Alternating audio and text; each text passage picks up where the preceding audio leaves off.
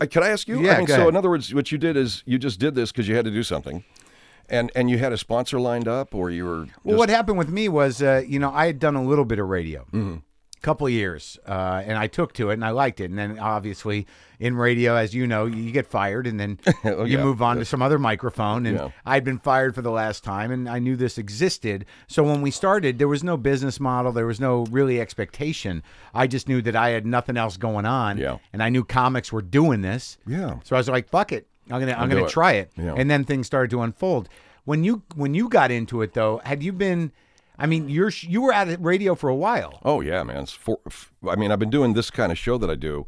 I've been doing a comedy show, if you want to call it that, satire for about 20, 22 Right? years. Right. No, of course I know that. And then uh, uh, I did podcasting as a way of of escaping radio. I guess it's the same thing as you, only I I um got fired and or, or you know I lost m- uh, my contract and I then I got in with a really horrible company which I'm with right now.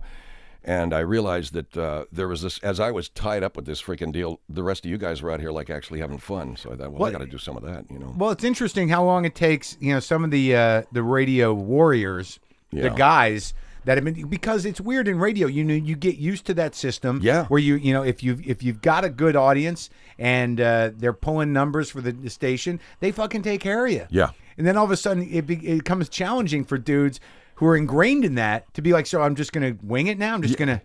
I'm going to wing it, and, and, and what, how, do- what, do- what do I do for sponsors? Well, just, you know, you're on your own. Go ahead, man. Go ahead, call the guys. Call them up. Yeah. They know who you are. Yeah, yeah. Lock the gate!